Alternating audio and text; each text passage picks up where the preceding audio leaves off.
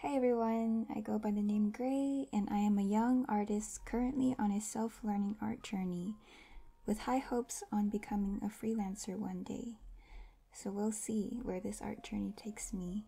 To be honest, I didn't expect my previous video to do as well as it did, and honestly, I was like, dang it. It had to be the video where I showcased some of my worst artwork. I genuinely didn't expect it to do well and I wished it didn't do well because because of how it didn't showcase the best of my work. But overall, I'm very thankful that it did well in the end because it gave me encouragement that people can see some worth into those drawings and I want to prove even more that I can produce even better drawings for you guys to see. Thank you to the people who left behind those really kind comments. They actually were really encouraging and helped me push forward with grinding on my art.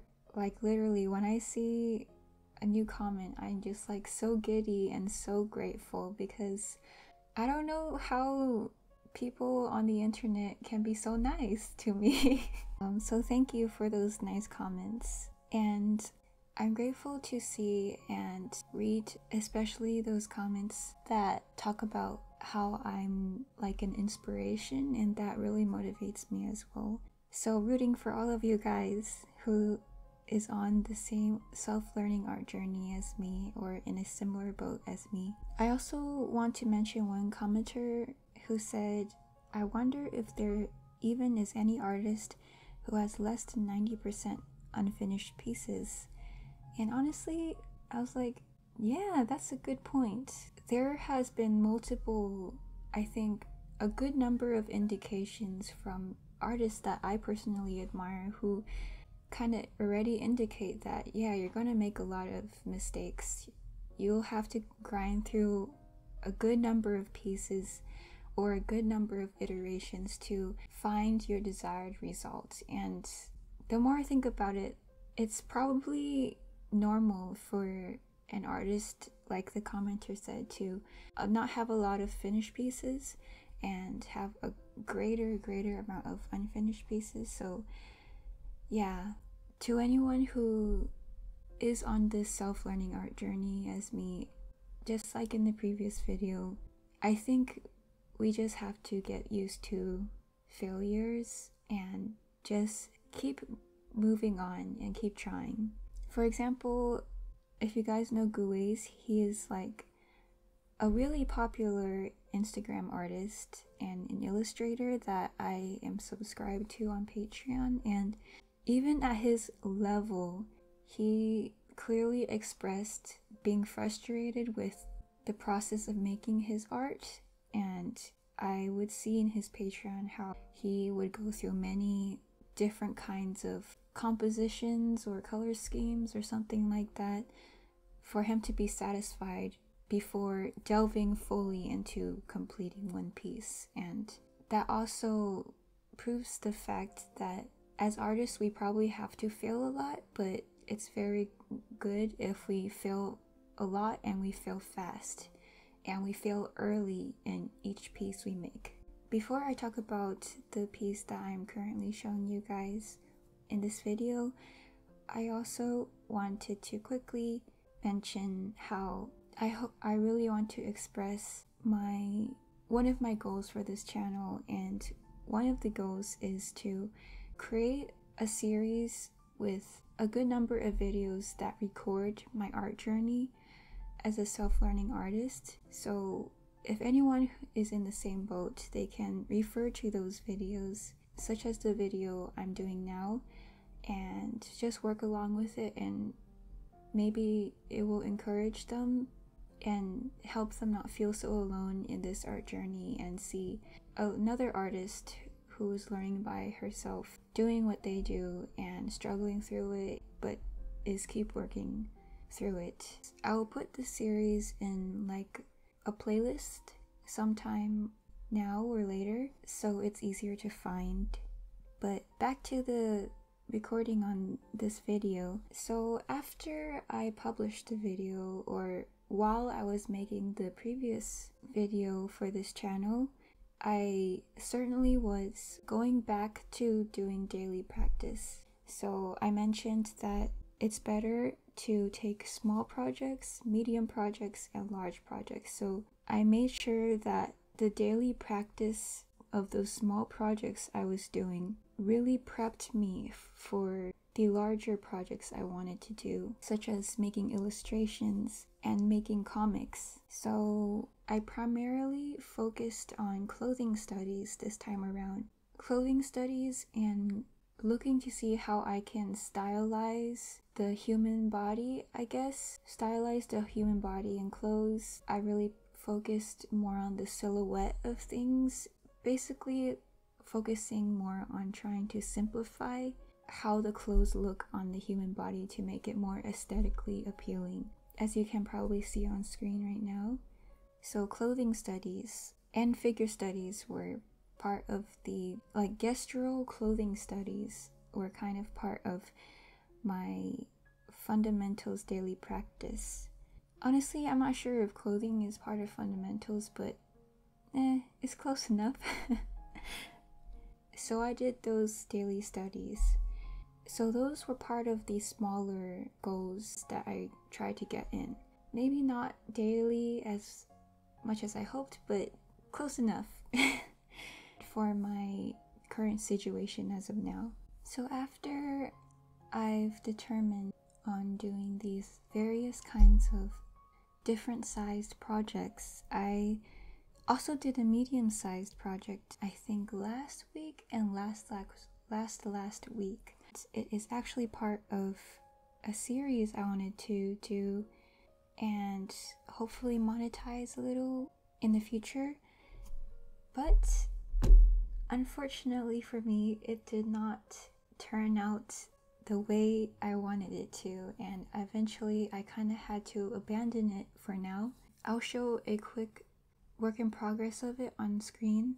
As you can see, the colors aren't that great. Actually, I like the colors more after I changed the color scheme after after realizing that it, it wasn't good, but then I thought it was good again, and then by the thought I by the time I thought it was good, I already deleted all the color layers with the colors in it. And that's like, oh my goodness, a huge lesson for me not to delete my color layers so fast and resort to an entirely different color scheme and not have it saved somewhere else. Maybe a mini tip for you guys out there is to, if possible, try to save your different iterations of a piece so you don't have to kind of get stuck and not be able to go back very easily to the previous color scheme that you had, for example. So, yeah, I realized that color was my biggest obstacle in this piece and I decided to temporarily abandon abandon the series abandon this series of projects for now and turn to focusing on my daily studies and turn to focus on actually working on this specific fundamental color.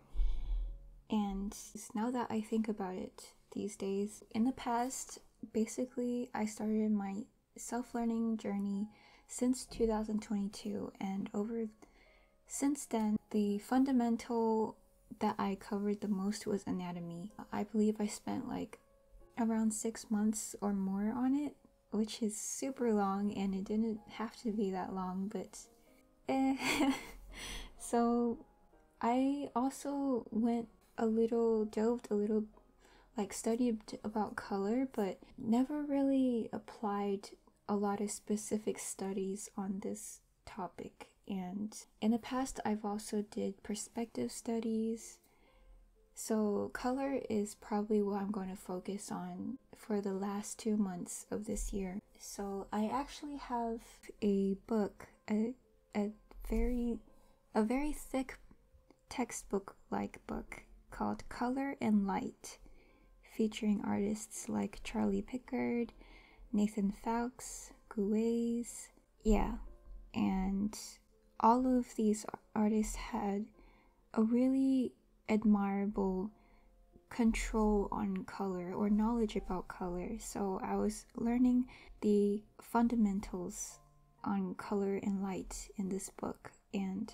as I will show on screen quickly, I specifically did a few value studies and and from the book I learned about limiting my values to only 3 shades, then just expanding it up to 5.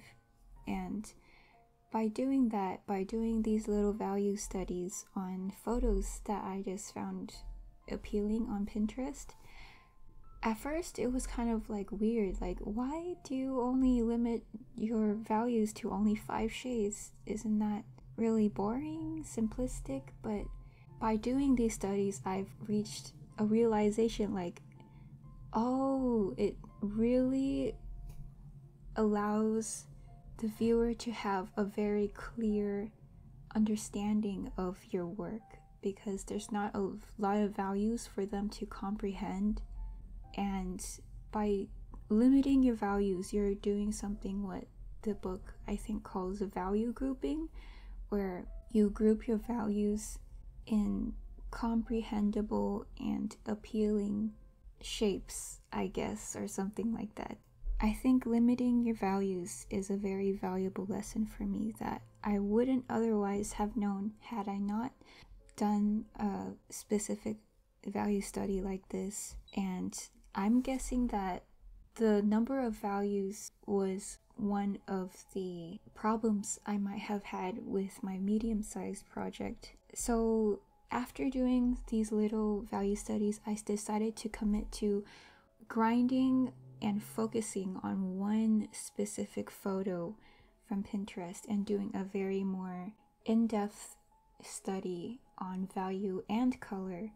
And as you probably can see again on screen, I actually was at first using a set of brushes that I eventually didn't like on the study I was doing. And I've I know that there are probably some people who would say that the brushes don't really determine your artwork. I guess in a sense, you know what I mean that like it it depends it depends more on your art skill and your level of skill to for you to refine your piece to the point that you like it. And I think there is a level of truth to that, but the brushes I was using, I felt really limited my level of exploration and it did not lead me in the direction of style and aestheticness that I was going for and I realized that. So I mean from a standpoint I think I did an okay job with this study with this set of brushes or this one brush, I think, but I knew something was missing and I knew that I wasn't, I shouldn't be limited to the result I was getting now. There had to be some other brush I could use, something else that can help me express my vibe or style in a better way. And just to explain myself a little, the reason why I wasn't really into this more painterly feeling. I'm a person who is really into line art. The thick painterly feel is not really my cup of tea. I still really admire the people who can really master like the thick painterly style, but for me, I would really love something more airy, with more emphasis on sharper silhouettes and a crisper design for my art style. So, people like Amy Thompson, I believe, is like a really inspiring artist for me. And I think some of my influences included the watercolor artists that I took art classes under when I was younger. I still remember when I was around middle school and elementary school age, just going into his house and then looking to the right, and I see this beautiful landscape watercolor piece by this artist that I was learning under, and wow, I think that left a really big impression on me. Also, I really admire the styles of certain webtoon artists, like the artist that made Unholy Blood, the strong silhouette and stylistic characters from Legend of the Northern Blade, and last but definitely not least, the artist, webtoon artist that made Mother's Contract Marriage. I know it's a, a little cheesy for a title, but her style has so much, brings me so much inspiration. Like, she utilized this really detailed and detailed line art while maintaining painted in details that otherwise wouldn't normally work with that much detailed line art. So yeah, I hope that gives an idea of the goal I kind of wanted this study to to go for because I for some reason I didn't just want to do a regular old color study. I wanted to also include my voice into it and more on that later. So I scrapped my first pass with the color study and tried to add line art because at first I didn't add line art at all, but then my line art looked super stiff and not fun at all. So I also scrapped my line art. Thankfully, I was going through my YouTube feed and I saw an artist that I was subscribed to named Taeyun. I definitely butchered the name, I think, but she's she or he is a Korean artist that makes these fan art portraits of mm, especially K-pop celebrities on YouTube and they had this brush set that really was giving off the airy feeling I wanted. And you know especially making that video about all my failed pieces and going through that much of a failure. Their brush set was $13 but you know i was desperate. Yeah and in the end i don't think i regretted that purchase because on this third try i was i felt like i was closer to the style I wanted or the kind of vibe I wanted to give off in my pieces. Yeah, this is a little bit more of a tangent towards studying the fundamentals, but hey, I wanted to keep it fun. So I watched their process on how they used their brush set that I bought, and I noticed that they put in this kind of sketchy line art, line art first. It wasn't like super messy, but it wasn't super clean. And then after that, they kind of smudged in the colors that they wanted, blended it together, I think, and then combined the line art and colored coloring later layers together. So I incorporated their method and it's it was basically smooth sailing from then on, which I was really glad about. Going back to the value studies that I learned from the Color and Light book, I thought the value grouping really helped me immensely and alleviated a lot of the guesswork in choosing colors from the color wheel. Because when you look at the color wheel, like you can go for like super unsaturated colors or super saturated colors, light colors, dark colors. I think what I learned has really consolidated my and made me, made me more confident in which colors I chose. So, color studies are helping me a lot. As I was going through this color study, I was able to apply a lot of the art tips that I've learned over these couple months, I think, I was able to apply some more color tips that I learned from the Color and Light book, and probably some random art tips that I found online somewhere from other artists or an artist. And I would like to share these art tips with you guys as well, which I found to be really insightful and really helpful. So hopefully they're helpful to you guys too. And number one, one of the art tips I learned is color relativity.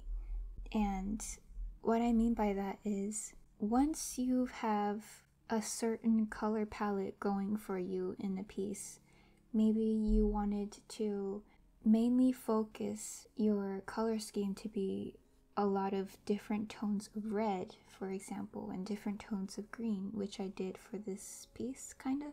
When you start to pick colors in the more gray areas of those red colors or red or green hues, it starts to produce a phenomenon of not looking gray, but actually looking like purple or blue, if you know what I mean. It's like the colors in the gray are contributing because of color relativity to the piece. I don't know if I make sense, but essentially what I'm saying is when you are coloring your artwork, I think it's really helpful if you choose some of the more gray toned color of your main color scheme. Like if I had a saturated red, I would choose some of the grays of that saturated red or around that tone of saturated red. And in that, they the grays would produce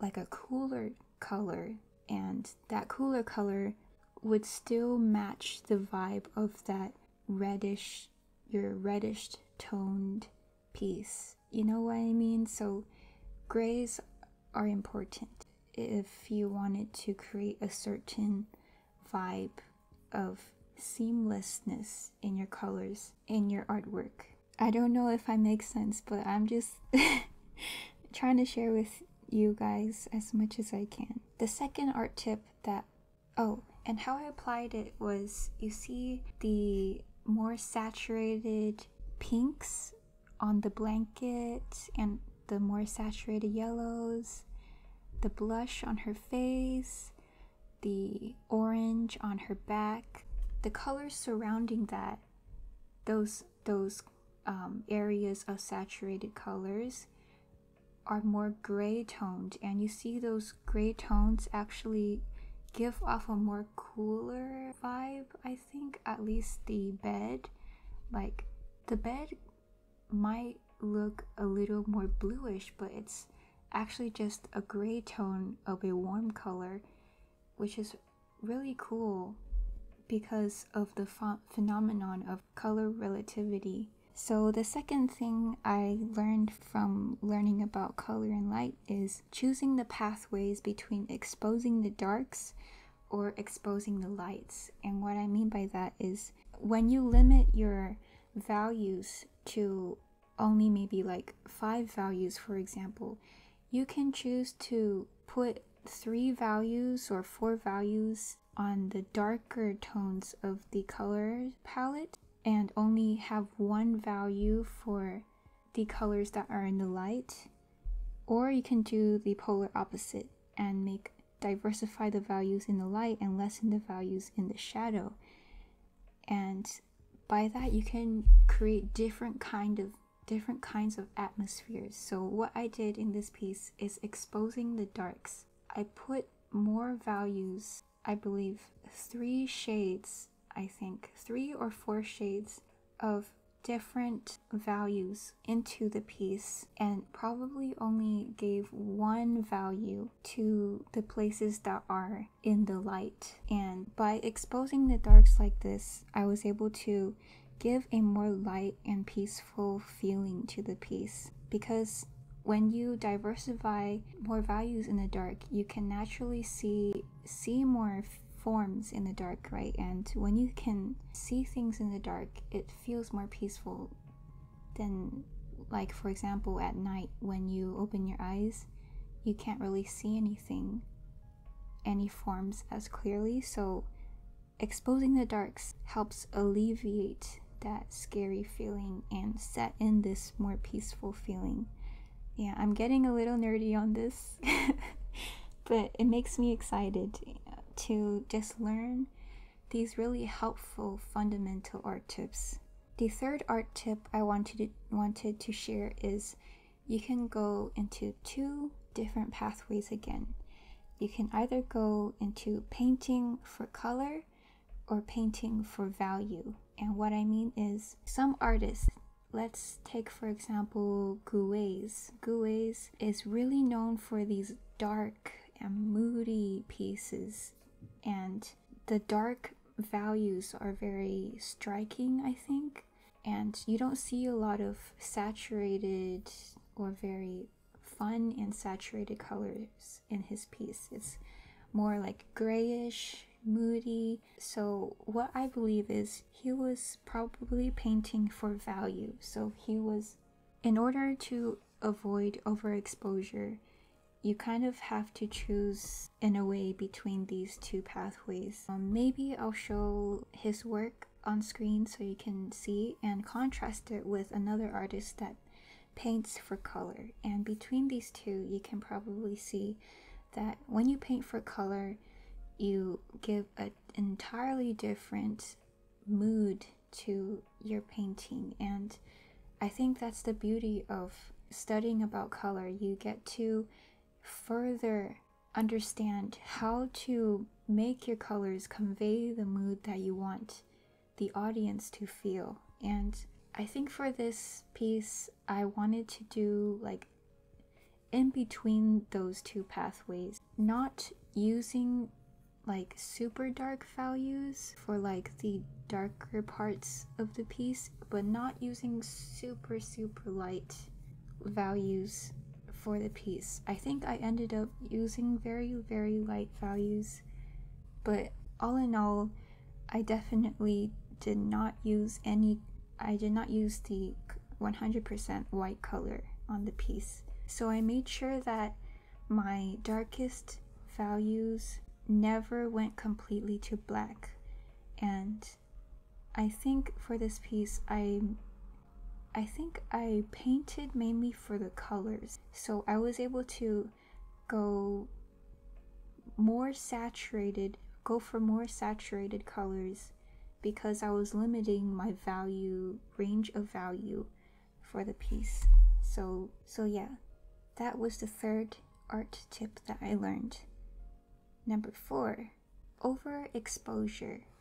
So as I mentioned before, I probably overdid the how light the values went for this piece and it's kind of like breaking the rules a bit when you learn about the fundamentals of color. In the art world, the rules are made to be learned and it's made to be broken. Once you've learned the rules, I believe there is a range where you can go that you can start breaking them to create this unique style and unique voice into your pieces. So I did that with how saturated my colors went and stretching my range of values, I think. Almost done with the art tips, just two more, which is it might be good to focus your saturated colors on focal points instead of putting it everywhere on the piece. So that's what I did for this color study. I tried to put super saturated colors on so like on the silhouette of her hair and then on her cheek, there's a more concentrated, saturated pink, and on her lips, it's a more saturated red, her eyes as well. And surrounding that, such as the light behind her head, I made sure to incorporate more gray toned colors and less saturated colors. So your focus would focus more on the head and her eyes, her hair, and the bed behind her definitely had desaturated colors. So, focusing your saturated colors on focal point areas, I think really helped make the piece more clearer and more relaxed.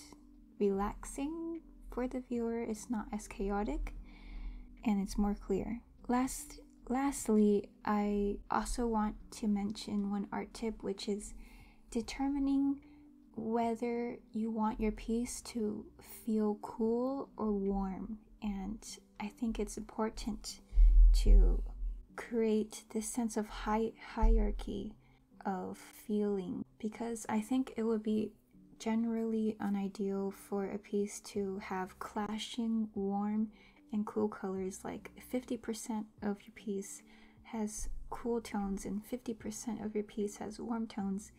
I think it just creates a sort of chaos more in this piece so i made sure to really make this piece warm toned. So i used an airbrush i believe to kind of incorporate those orangey reddish hues into maybe I would like to say 60% to 70%. I wanted to raise the warmness of the piece to maybe 60 to 70%, and I think that creates more clarity to the piece, to the color study as well. So, as you can see, this color study went beyond being just a regular color study. Honestly, I probably took it too far in a way, but because my previous video did so well, honestly, I really wanted to prove to you guys that I'm capable of accomplishing a piece and not just I'm not just failing a lot of pieces. So I really put a lot of effort into this one and I'm grateful that I tried to incorporate my kind of style or voice into it at, into it as well and not just copying directly from the photo. So yeah, actually I think this was supposed to be like a daily study, but this one ended up to last over 3 days, which I think is okay to do as long as it doesn't consume like one week and become like a project and like a medium project, you know. But, anyways, I'm kind of rambling. So, over the course of this video, you probably have heard me mention a lot about putting in my voice into this study, and there is a reason for that actually. And you know, I actually watched another Tyler Edlin video and got a lot of insight for myself. Really, I think his channel is such a gold mine for self taught artists. He gives really quality and helpful art tips, and he has a Patreon with tutorials and such, so definitely recommend him. He talked about how to stand out in the creative world in one of his recent videos, and basically he said, Don't just put out fundamentally solid work. Make sure your individual voice is incorporated into your work so that it stands out. Because your artwork should convey a feeling that you, as an artist, wants the viewer to feel. It's like it's like presenting two pieces. One piece is just a regular old building with no feeling to it. Like when the audience sees it, it's like, oh, it's a building. And the other piece is like, oh, it's a very spooky and gloomy building. You know what I mean? So, really expressing a certain tone and mood stylistically in your work while being solid in your fundamentals, I believe will take you farther into being accomplished in the art world and standing out. So, keeping that in mind, I really did. I might have gone overboard overboard in that, but I've really tried to include my own artistic voice into this color study. Last but not least, Tyler Edlin really gave an important tip. He said that if you don't take a class or purchase an art mentorship, he indicated that there is still a way for you to grow. If you're like me, I've I've basically have not taken any art mentorships over the last few years, one or two years that I've been learning digital art, save for one which I've did not complete and kind of left to the side I basically did not do any art mentorships. So, learning by yourself, it can be really a struggle, especially if you don't know what kind of content is is correct for you to learn from and what artists you should kind of copy from or learn from on YouTube or other free art sources online. But Edlin mentioned that one way you can learn art by yourself is basically do studies of real photos. And by doing that, because like photos are based on reality, you can find colors and find compositions that are realistic and make sense and you have that more foundational knowledge even if you don't take an art mentorship for example and have live critiques at your disposal. But if it's possible i i honestly think that professional and timely art advice can be super helpful in someone's art journey but honestly at this point i i kind of want to not do it because um because of my personal learning style and I'm not very rich, so I'm trying to conserve my money and find ways how I can learn by myself. So if you're like me, maybe it's a good idea to to consider doing more studies of real photos. Anyways, after my long nerdy rambling of this topic, I want to start closing it in to the end. And the question I want to pose for myself before you guys is what can I improve from this color study? And I've come up with three things. Number one is shape language. I think I kind of did, for now, I am kind of satisfied with the shape language the color study was giving off, but I know that I can do better and bring a more style to, for example, the silhouette the girl in the picture is giving. Maybe in the future I would do more studies with shape language in mind. And number two, I think I can improve on my hands. As you can probably see, my hands, like the colors on my hands, are kind of muddy and not very clear.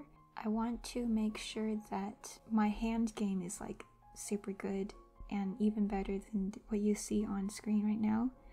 And last but not least, I noticed that in the artworks that I draw, I have trouble making the eyes look where I want it to look. So you might notice that the eyes in this color study might not actually be looking at the book. I'm not really sure.